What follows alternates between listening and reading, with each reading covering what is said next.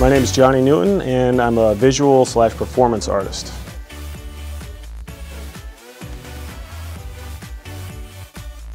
My art is uh, very colorful, very clean, bright, um, mainly acrylics, some sculpture and photography.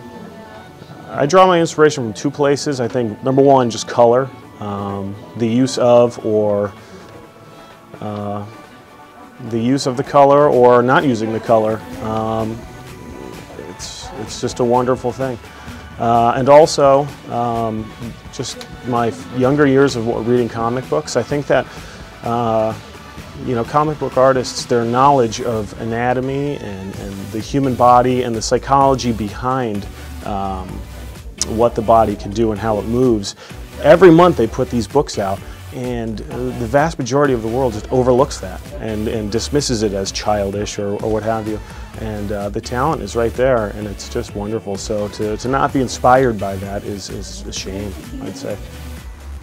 Uh, I don't know where I see myself in the future. Um, I know uh, I'll, I'll, I'll, know when I get there, uh, but getting there is, is the best part. And so if you think too much about the future, uh, it's easy to forget the present.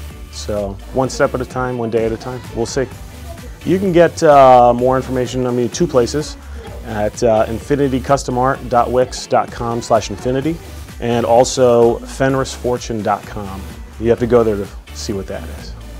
Uh, my name's Johnny Newtown and if you haven't figured it out yet, I am a raw artist.